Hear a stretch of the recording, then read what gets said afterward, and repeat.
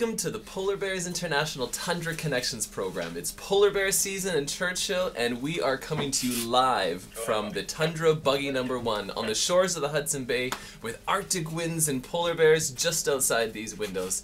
My name is Terry Godwaldt, and I'm the Director of Programming for the Center for Global Education, and it is my pleasure to help moderate this conversation that's going to be taking place here today.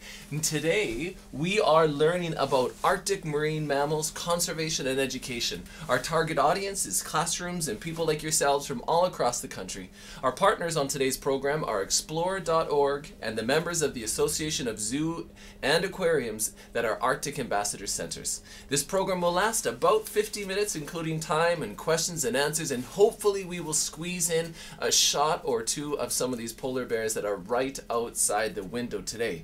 Now, a very important part about what we're going to be talking today is that it's not just about the mammals themselves, but it's also about the action that you as individuals, as classrooms, and as homes can make. And we'll be talking about how polar bears and our planet need you to take those actions in terms of conservation that's going to help our planet and help our polar bears. Now, this isn't just television. This isn't just a webcast. This is meant to be an interactive experience, a conversation between yourselves, our panel of scientists, and that goes both ways. So, there's a few ways to do that. Method number one, right beside your window there where you see us streaming right at you is a chat window. We'd love all of you to say a quick little hello in there right now, and then we'll be able to feed that off to our guests. The second option is to send us emails to questions at pbears.org. And then the last option is through Twitter using hashtag Tundra Connections. And we will share those and pull from those throughout the entire webcast. And talking about the scientists who we have a privilege to meet, I'm going to pass this over to our scientists. Now we'll start at the opposite end of the table from myself, and we'll get Stefan to introduce. Go ahead, Dr. Stefan Peters. Great, thank you, and welcome everyone. My name's uh, Stefan Petersen. I'm head of conservation and research at Assiniboine Park Zoo in Winnipeg, uh, Manitoba. So my uh, department is a fairly new one, an exciting development at uh, the Assiniboine Park Zoo. We have a, a, new International Polar Bear Conservation Center that's been built in the last few years that's really looking uh, at what we can do here in Manitoba for polar bears.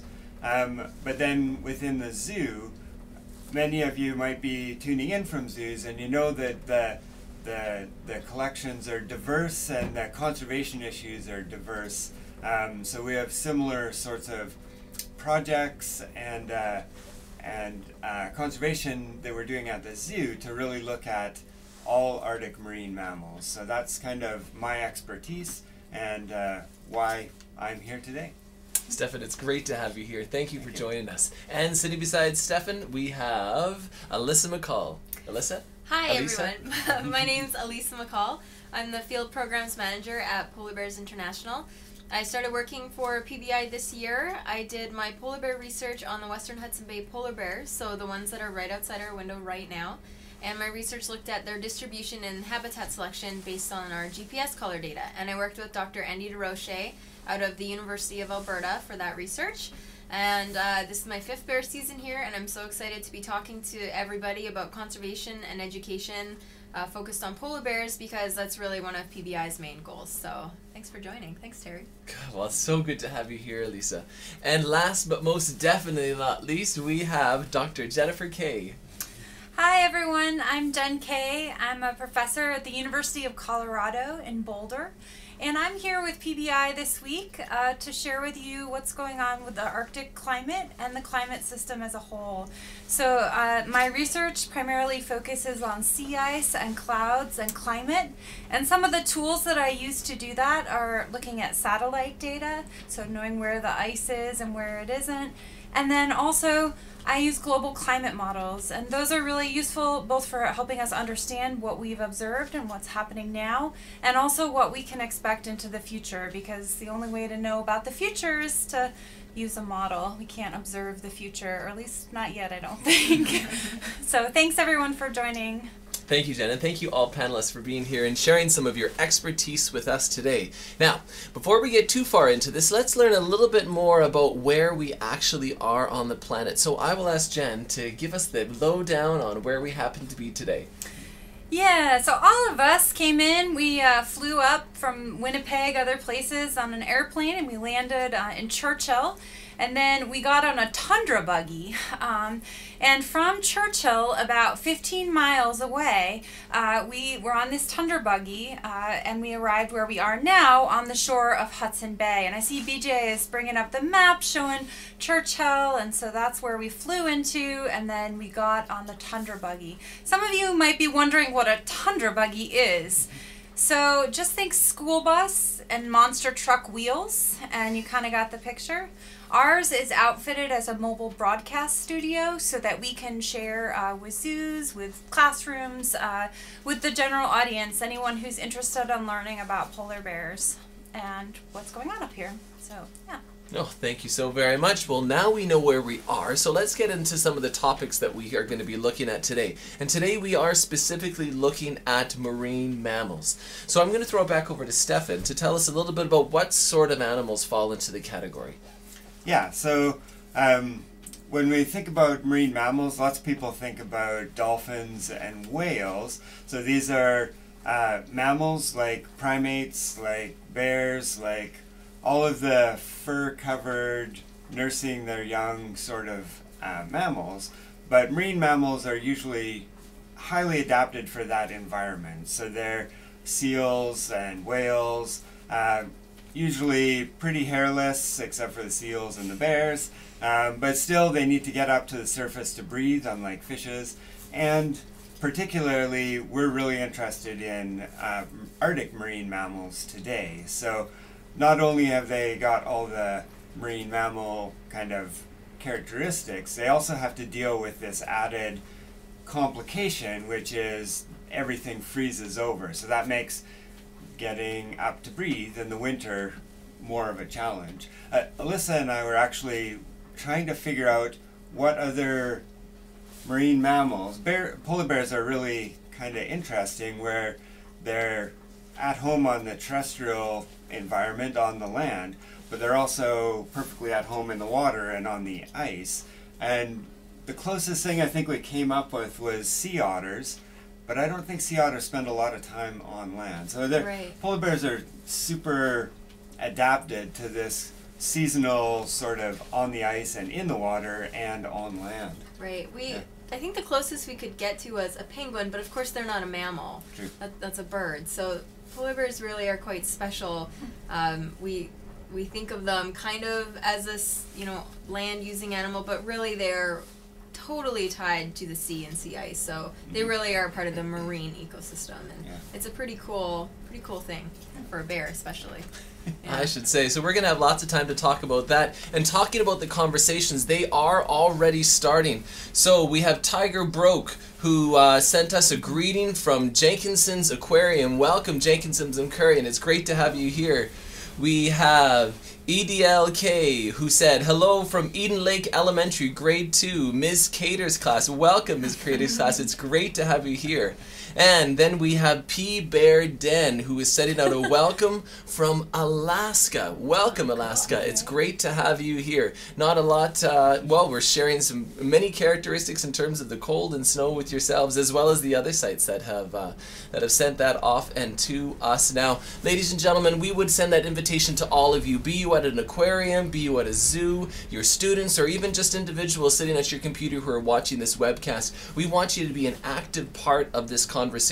So send in your questions by email to questions at pbears.org, to tweet them out to Tundra Connections, or to use that chat window. We want to bring you in and have this as a conversation that takes place um, across, really across the world.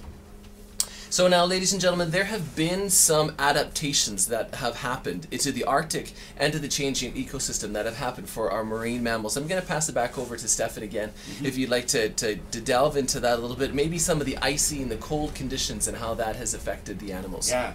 Yeah, so as I mentioned, we have this really unique environment that freezes over, and there's really been kind of a couple ways to deal with that. So for uh, things like bearded seals and ring seals, polar bears, they've adapted to live in that ice environment throughout the entire winter, and they're year-round residents in the Arctic. And then there's another suite of, of ice whales, and their adaptation is really to get out of Dodge. So when things start to freeze, they get out and go to either the ice edge or where the ice is a lot more uh, active and there's cracks within those ice. So that could be uh, things like narwhal and beluga and bowhead whales are really highly adapted ice whales and they kind of share a bunch of characteristics in that um, they tend not to have a dorsal fin so they can it doesn't get damaged on the ice um, they're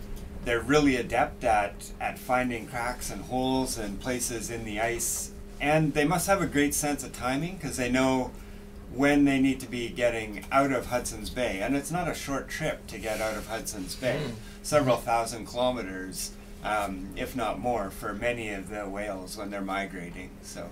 Absolutely. Incredible distances. We were talking about earlier on how the Hudson Bay itself is 1.5 million square kilometers, which is about the size of Texas, for our American friends or those that joining us in Canada, that's about the same size as Alberta and Saskatchewan put together. So that's that's quite a strip uh, to for, for them to for them to move around in, and then for them also to adjust in the midst of the claiming uh, the changing climate that's going on there. Jen, could you tell us about um, what's going to happen for these animals as the climate shifts?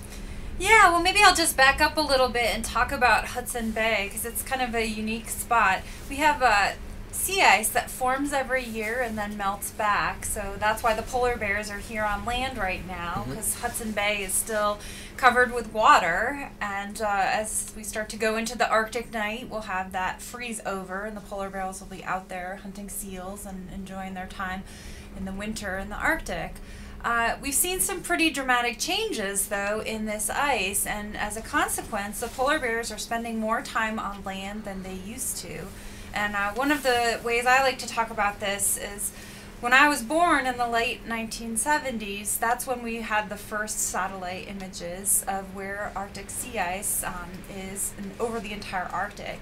And uh, over the course of my lifetime, we've seen some pretty big changes. And in 2012, there was half of the sea ice that there was um, from when I was born. And BJ's bringing up a little bit. This is a, just showing where the ice was in that particular um, year, 2012, uh, in September. And you can see it's Hudson Bay, totally ice free, but then also the um, Northwest Passage, uh, lots of boats and things going through there, and polar bears waiting on land to get some more food. And and not only boats. Uh, in recent years, we've had bowhead whales that have been tagged in the eastern Arctic and in the western Arctic meet in the middle of Northwest Passage.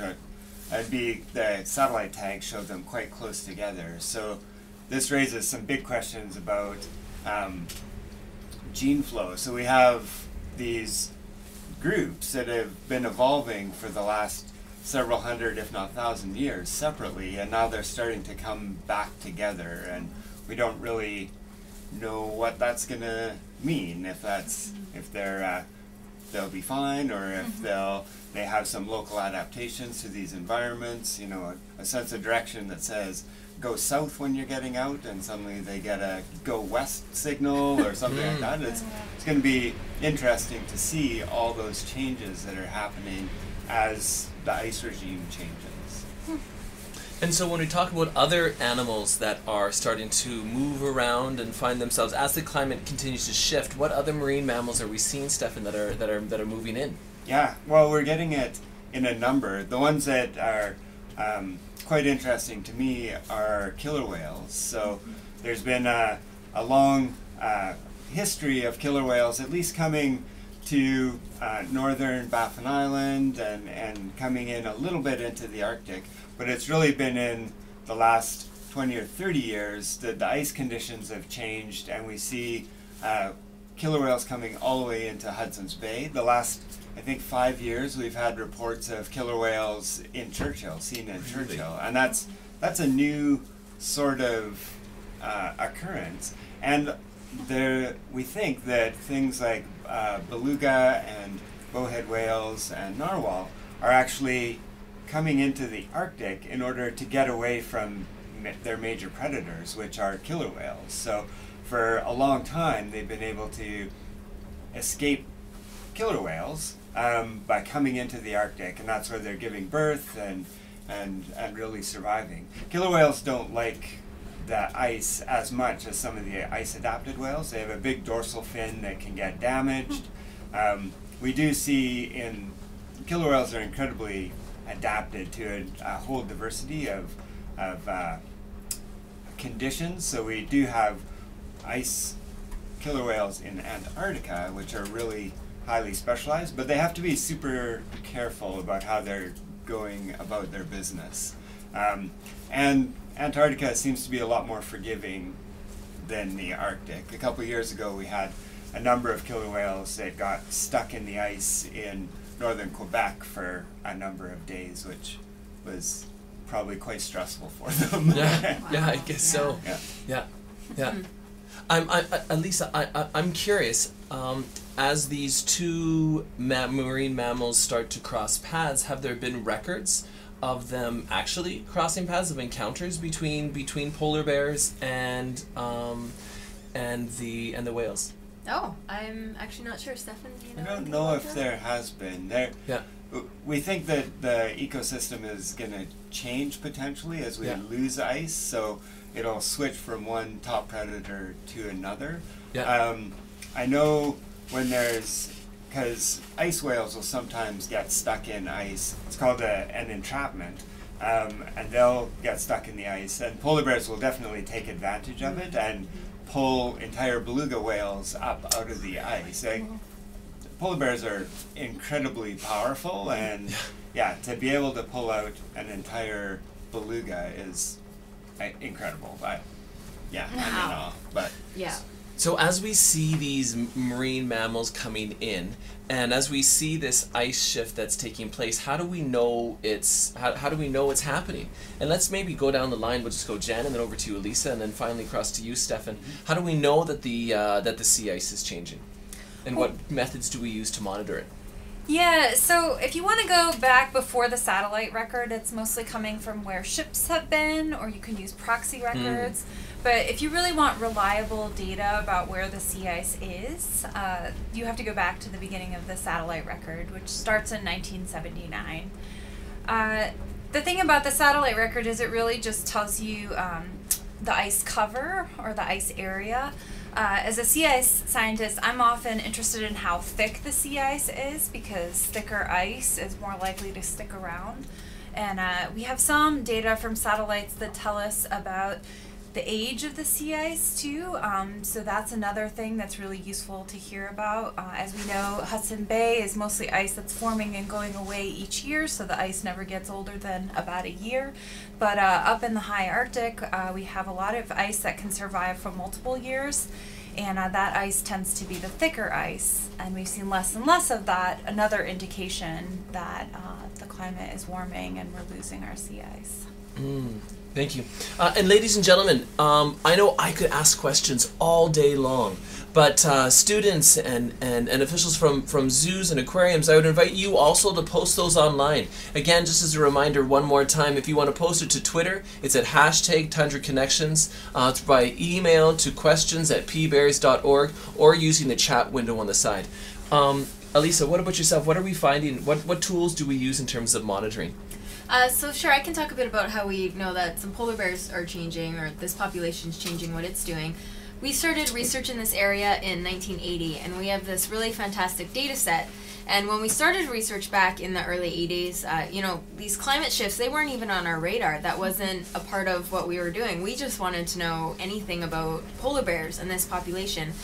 And then over time, we started seeing that things were changing. And because of this great ice data that we have over long periods of time and the climate data that we have, we realized that when the sea ice patterns changed and when the sea ice was around um, for fewer weeks than normal, we saw changes in the polar bears uh, over time. So there's more problem bears if the sea ice breaks up early. Um, if as the sea ice declines uh, in it, the amount of time it's around, so it's freezing up later and breaking up earlier. So bears are spending more time on land.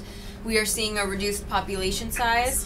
The bears in general are a little bit smaller. There are fewer cubs being produced in this population now.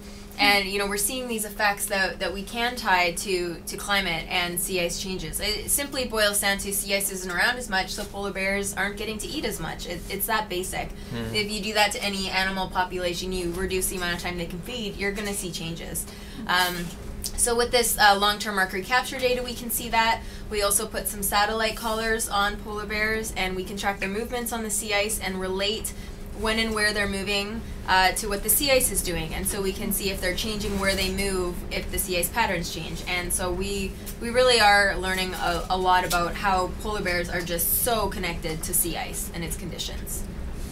And how long? We have a great question just about about polar bears before I get to you, Stefan, to talk again about the monitoring systems. And this has been sent from P Bear Den. Uh, and P Bear Den's question is: How long have we been studying polar bears? That's a great question. Mhm. Uh, so, the five polar bear countries got together. So there's Canada, the U.S., Alaska, Greenland, Norway, and Russia. Um, back in the mid 19th, uh, 20th century, so mid 1900s, uh, there was a lot of polar bear hunting going on, and we didn't really have any quotas and no real idea of the population as a whole. And people were just kind of going out there thinking that polar bears, you know, there were enough of them, uh, and it was pretty easy to hunt them at the time. And in about the 60s, we realized that numbers seemed to be declining. And so the five polar bear nations got together in 1973 and they signed an international agreement that said, hey, we're going to research these bears and commit ourselves to the proper management of polar bears based on science. And so we really, actual research programs started kind of mid 70s. The program here started in 1980, uh, just outside of Churchill, Manitoba. And so by now we have over 30 years of data on polar bears, which for um, a lot of animal populations is pretty fantastic. We can get a lot, and, and we really need these long term data series, especially when we're talking about climate changes, Yeah. because climate is a very long term thing. And these changes happen over long periods of time, so we need these long data sets to say anything at all about what's going on. Yeah, climate is often defined as a 30 year average. Yeah. So we just got over that for sea ice and for polar bears. And so I think we can start to make more definitive statements at this point in hopefully.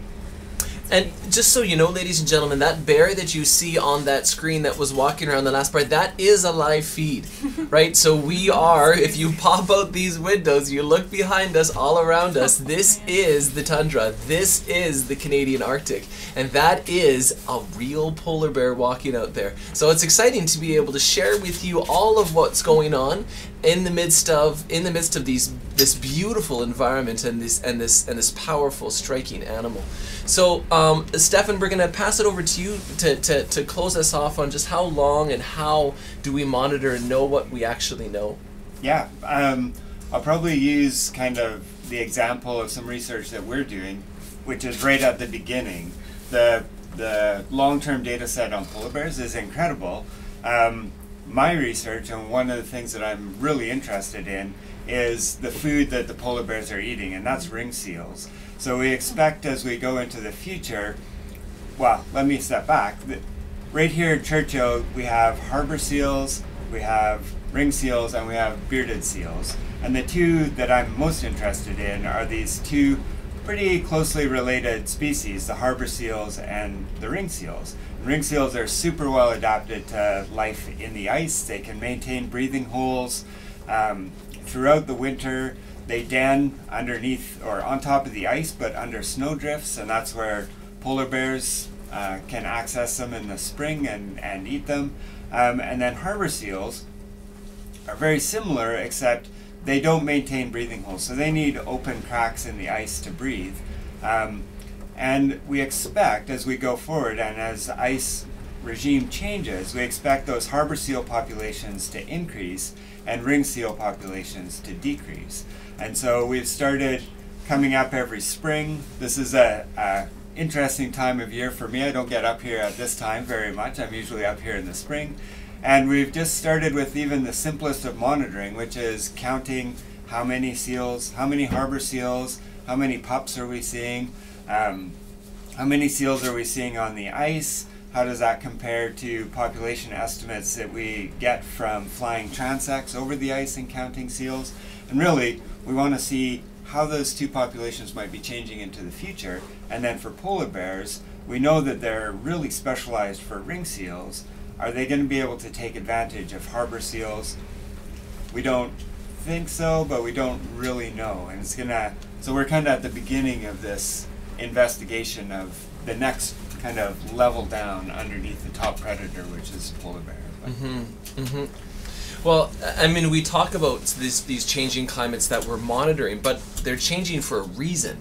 So, Jen, could you tell us maybe what are some of the reasons why these changes are taking place?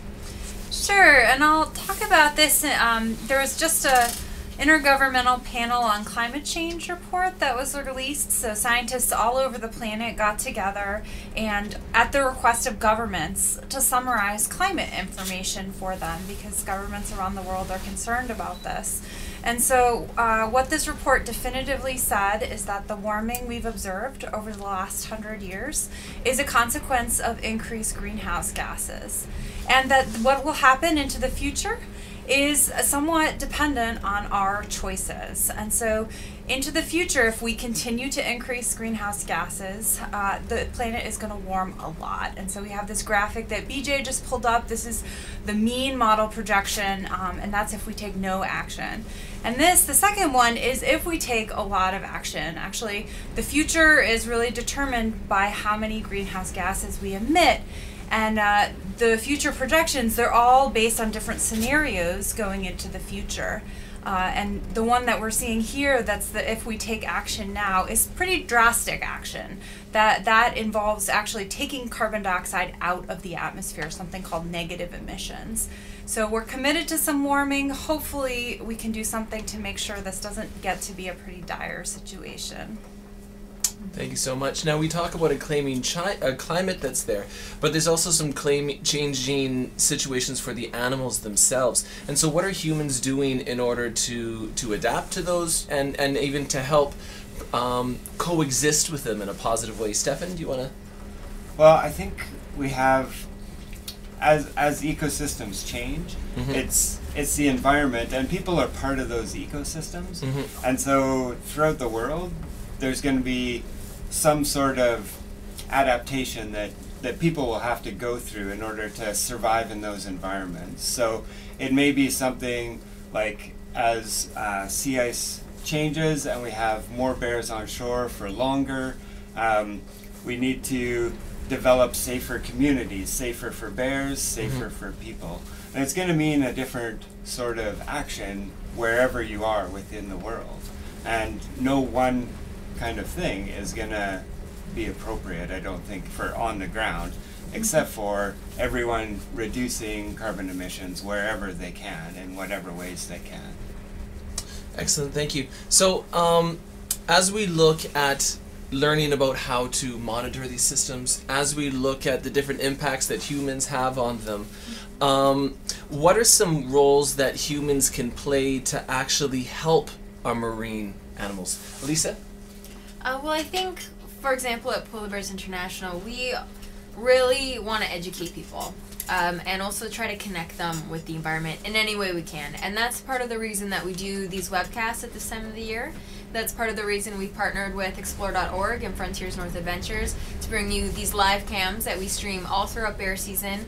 Um, you know, we can never know for sure, but we, we really hope that by showing people, you know, just the daily lives of these animals, uh, what their environment is like, trying to trying to connect them to you in your homes. Um, that's really one way to get people inspired to take action. Uh, you know, if, if you're never seeing something uh, for yourself, it, it's really hard to to make that connection. And for a lot of people, it's really hard to get here. Um, Churchill's not that far away, but you know, it's not cheap to fly here. It's really not easy to get up to the high Arctic and see, you know, things like narwhals or bowhead whales and things like that. Uh, so any little bit that we can do to bring this to you and to talk about it and to answer your questions and really get people feeling, you know, part of it and like they can be part of the solution. That, that's really our, our hope, you know, inspiring change through education.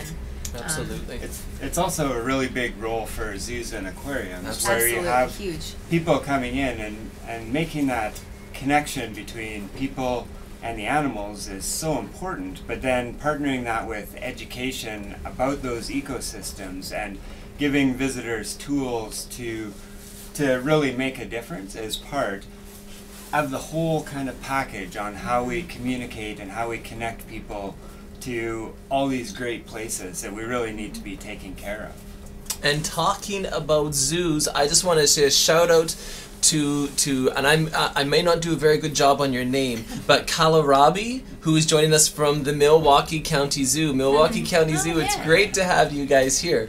Now, not everybody could get up here. And so not everybody would have a chance to see where these bears have their dens and things along those lines. But Ms. Hack's class, which is a grade six class from Brampton, uh, said that her students want to know if any polar bears have given birth in cubs, uh, given birth to cubs that are under your care. So um, I'm going to throw that back to you in terms of the zoos, Stefan. Yeah, well, we do have um, successful breeding in zoos. In uh, Winnipeg at the Assiniboine Park Zoo, right now all our bears are too young, so they're not close to breeding age yet. But there has been success in in many other institutions um, throughout North America, which is we learned so much from when those kind of awesome events occur, and it's it's super hard to research bears in dens in the wild. It's really important to know because we can learn a lot about how we're doing things within facilities, um, but also it really it's such a critical time for polar bears that we really need to know as much as we can about that that that time? Where what makes the best den? What kind of habitat? Uh, what are the conditions? How noisy it can be? Um, all these things that all will feed in and help us design better uses on the landscape. So we can say you know don't drive your skidoos within two kilometers or all these different actions. They're all really based on knowing how what bears need to den what what makes them happy Mm. And talking about uh, bears being happy and being in good conditions, but we're also seeing potentially some bears that aren't in good conditions, right? As these bears here wait in order to get back onto the sea ice. Uh, so, Alysa, this is Tiger Broke. Thanks, Tiger Broke, for this question. But um, Tiger Broke asked, what percentage of bears are you seeing in less than desirable conditions? Yeah, it's pretty hard to talk about um, percentage of bears this year. We, we're getting a lot of flux through this area, so part of the reason that the polar bears are here right now is that they're migrating through. The sea ice will form um, first in Hudson Bay, right in this area, and these bears know that. And so a lot of bears are pushing through the area. We do have a few that are hanging around. You know, we have seen some really healthy looking bears this year. We've seen, uh, in fact, one pretty fat one. it's pretty funny out there. Um, but, you know, we have seen a good handful of pretty thin bears. In fact, we saw a bear yesterday. Um, he got a little maybe perturbed by some noises on the landscape, and he he got up and he just walked a little ways away and dug himself a little snow bed and just kind of plopped down again. And you know, he looked pretty tired and he looked like he was really trying to conserve his energy. So right now as things are you know i don't think there's a bear near here at the moment that we're afraid you know is going to starve to death in the next week or two if, if the sea ice comes in on time uh, there are some that you know they will really be trying to conserve their energy for the next few weeks and hope to i'm sure get a seal as soon as they can. Um, every year's a little bit different. This past year was actually a pretty good sea ice year uh, 2013 the year before that was a very very poor sea ice year. Um, but based on last year i think most of the bears are kind of hanging in there um, just a, a few that aren't looking so good this is also just a small snapshot of all the bears that are around hudson bay right now Mm. um, so, so it's really, you know, it's tough, and we just really hope that the the sea ice is going to show up pretty soon. So, uh, Jen, we had a, an, another question that came to us that was just about when should this bay ice or even Arctic ice be forming, and as opposed to when actually is it forming?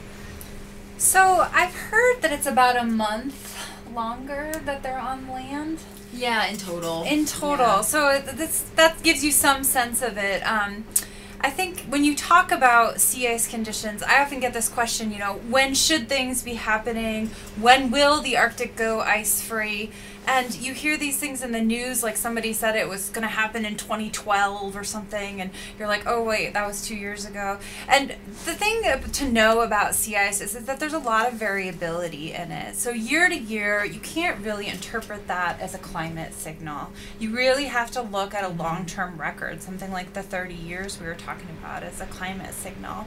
And it's only with that kind of perspective that you understand, you know, hey, things are changing around here.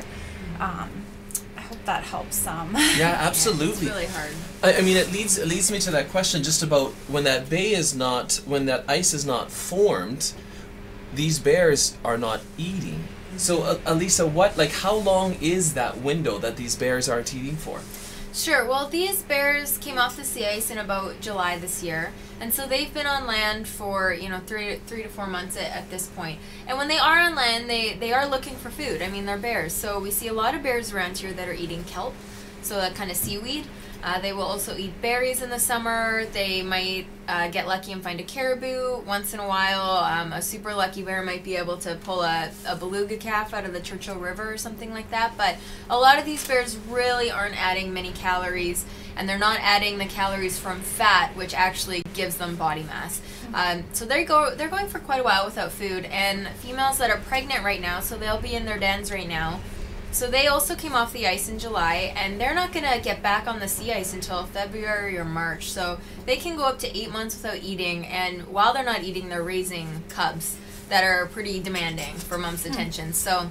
You know the bears can go quite a while, but that's why they need that body fat. Uh, they they are losing weight when they're on land right now. Most of them are trying to conserve energy. Now that it's getting colder, you can kind of see you know the mood pick up a bit among some of them. We're seeing more playing now more sparring than we did a couple weeks ago. We're seeing more movement on the landscape so um, it's, it's easier. They're not going to overheat now. It's you know they're probably looking forward to the ice coming in but um, they can go a long time without eating. They probably don't love going a long time without eating and they're really looking forward to that next seal for sure So, Ms. Hawk's class here. Thanks so much, Ms. Hawk, and to all of our people who are sending those questions in. We very much want you to be a part of this conversation. But Ms. Hawk's class just asked, what inspired the scientists personally to join Tundra Connections and help protect the polar bears? You know, as we think of, because it's not just just classes that are here, but for some of those students who are looking at the rest of their life, um, what inspired you, Stefan, to to go down your route as a scientist, which eventually is what led you here today? Yeah. Well, I think right from the beginning, I loved animals and, you know, got into trouble having frogs in the house and all the normal stuff that you do. Um, and then I've been slowly kind of working my way north and up the food chain in terms of research. So I studied, kind of started out with shrews and then into flying squirrels and then into polar bears and ring seals and bowhead whales and narwhals. So I've kind of been working up and and really trying to work into the Arctic, which is just this amazing ecosystem that. Um, it, in some respects, it's such a simple system, but then as soon as you start trying to figure out how it's changing and what's happening, it's incredibly complex. So, yeah, so I've just been enthralled and, and fell in love with the Arctic and all the species that that really make up the Arctic. And and because I have that kind of love of, of this ecosystem, I don't really want to see it change. We know that it might switch from a top predator of a polar bear to top predator of a killer whale. I kind of like polar bears. I'd rather have them maintained as the top predator. Mm. Yeah, so Vera, I'll tell you, the little bit of time that we have got to spend here over the last few days to see the polar bears sparring, to see the, pol- the polar bears playing, to see the beautiful interaction amongst these animals has just been so very, very inspiring. And really, as we look to explore.org and to uh, Polar Bears International, as they share these these little windows into these fabulous and, and, and powerful animals' lives. They allow us to bring them into our own lives, bring them into our classrooms, bring them into our zoos, and uh, and and see that it's something that is not just so very far away, but can be close. Ladies and gentlemen, we are into our last ten minutes of this conference, and I want to do one more call out. If you have a question, if you have a comment, if you have something inspiring you want to share in terms of um, in terms of marine mammals, in terms of polar bears, we'd like to invite you to tweet it out to uh, hashtag Tundra Connections. You want to heat uh, to tweet it out to polar to questions at pbears.org. Um, we want you to be a part of this, and we'd love to end with a with, with a with continuing that conversation that we have going. And you know what? We have talked about these changing these these changing climates and some of the concerns that's there. Um, is is there anything that, that that can be done for this? I'll pass it over to our climate scientist, Jen. Yeah, and I will say, as a climate scientist, I often get this question, and you know, I am someone who is really interested in doing something about this, and so I am. But my specialty is more in understanding the climate system, and I do make somewhat of a distinction in a mm-hmm. lot of mm-hmm. ways between those two things. That's, I think it's really important for climate science. So I'm going to say there are many things that you can do to help this, but this is a big problem. That's something we know mm. from the climate science. We know, I mean, some of the changes that are in store really require us taking a lot of carbon dioxide out of the atmosphere mm-hmm. and changing the way that we get energy. Um, and that's those are challenging things. Um, but everything starts at a local level, and so you know it's individuals who make those differences. So you know you start to do something and you inspire someone else to do it that's um, the question you had about why are you up here you know? That's part of why i'm up here. I think it's really important to tell the story to tell people what's going on and to really give the facts, give the data, and then say, look, and this is something we control into the future. All we have to do is reduce the amount of greenhouse gases in the atmosphere. Mm-hmm. Mm-hmm. Mm-hmm. We're seeing some great questions that are coming in here, so I want to make sure that we get to these before we sign off for today. From our friends uh, Kalarabe, have there been more bears coming into the town of Churchill? And if so, what is being done to mitigate the issue? Alysa, I'll pass that over to you. Sure. So over time, uh, we we are seeing more bears uh, come, you know, trying to come into the town of Churchill. Churchill has a really fantastic program, the Polar Bear Alert Program, um, that's helped managed by Manitoba Conservation, and so they, you know, they have a great facility there. Um, they're we have a phone line in Churchill uh, that you can phone whenever you see a bear, and you alert people uh, around town, and they'll go. First, they just try to push the bear out, just try to, you know, make loud noises, get the bears away from town. If a bear is being a, a really problem bear, they will put the bear in a holding facility uh, for a certain amount of time, depending on if the bear's been around before, how old the bear is, and then eventually they will fly the bear out of town uh, where they hope it won't come back. And especially at this time of year, we're flying a lot of bears farther up north where the sea ice is going to form in hopes that the bears don't come into town anymore. Mm. If, if a bear mm. comes into town, it's bad for people, but it's also bad for the bear. Uh, we, you know, we really don't want bears getting shot if they're trying to break into a home to find food, and we don't want that for us either. Um, we have other towns up the coast of Hudson Bay that um, you know don't have as many resources right now as, as Churchill is lucky enough to have. So those towns are seeing more and more problem bears coming in looking for garbage or food, and so we are really we want to get working on that to try to help those people because you know it's really polar bears are so neat and interesting but when you're when you're living in a town where it's a reality that if you walk out your door there might be a polar bear on the street it, it's an interesting thing and we really we want kids to be able to play in their yards and we want polar bears be, to be able to be polar bears and do their thing. So we are we have a lot of great people working on this human bear conflict issue um, and hopefully we can mitigate that. And if the sea ice returns to normal i think that will help. If the sea ice conditions continue to deteriorate it might become more of a problem uh, so we'll have to watch that. So we have time for one last question. I'm going to throw this one out to our friend Tiger Broke, who has uh, been active in this conversation throughout. And I'm going to throw this over to you, Stefan. And Tiger Broke asks, are you seeing the effects of climate change in the Hudson Bay area in other species as well? Well, my research is right at the beginning, so I'll keep you posted on harbor seals and ring seals, which are closest to my heart. But one of the things that I mentioned a little bit was the killer whales, and we know that over the last few years we're getting pretty much killer whale reports every year.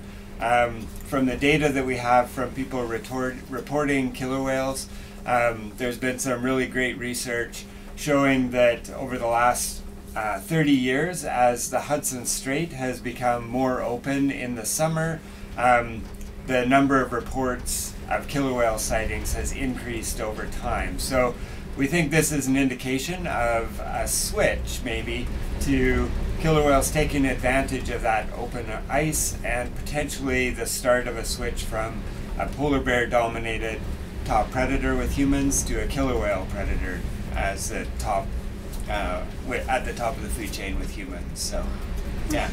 Interesting stuff.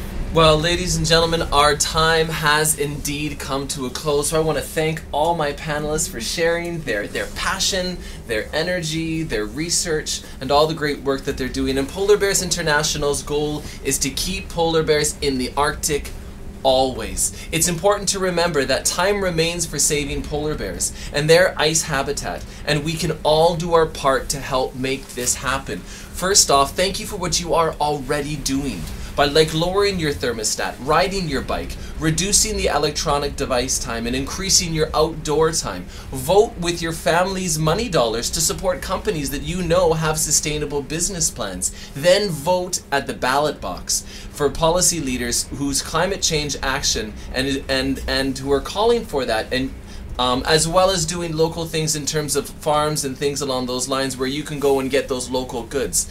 Everyday actions are going to help save the polar bears. But we're sure you're wondering what else can you do? So we're going to get a screen here that's going to show here in terms of uh, these actions that, that can be taken on the local level in terms of uh, in terms of the taking it global's um, opportunity to create an online resource for individuals and teachers um, from online mobile app called Commit to Act, available on Android and iPhone, which will allow you to track your actions while while sharing them with your friends and family.